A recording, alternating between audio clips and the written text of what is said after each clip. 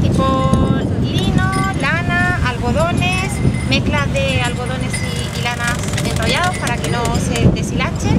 Y nuestra famosa, como bien dice Miguel, crin de caballo, que, que le confiere al, al colchón y a la base una elasticidad y una transpirabilidad eh, que no tiene ningún otro colchón en,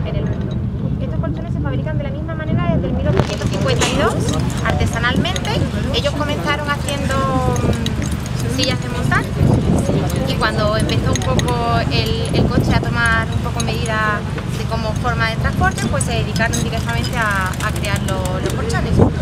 Y tenemos cuatro modelajes diferentes dentro de las camas continentales, en las que este modelo es eh, el más vendido a nivel mundial y, y hacia arriba podemos ir aumentando en cantidad de materiales, capas y de sistemas de apoyo. Los alambres van en porque se pueden añadir distintas firmezas.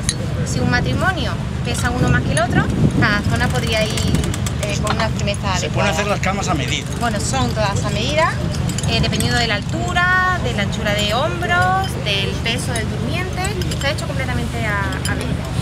Y bueno, pueden tocar nuestros materiales todo lo que quieran y ver un poco la, la del interior de los colchones. ¿Y el muelle es embolsado o no? El muelle va embolsado, va embolsado en bolsitas de lino, que el lino también es un producto que no absorbe humedades y entonces no hay ninguna posibilidad de que, de que suene ni de que se resquebraje la, la bolsita. Eh, el alambre, aparte de tener los distintos grosores, tienen distintas alturas para lo que os comentaba anteriormente de- del peso de- del durmiente. No es lo mismo un señor que pesa 120 kilos, necesita un sistema de muelle mucho más alto para tener un confort igual que una señora de 50, por ejemplo.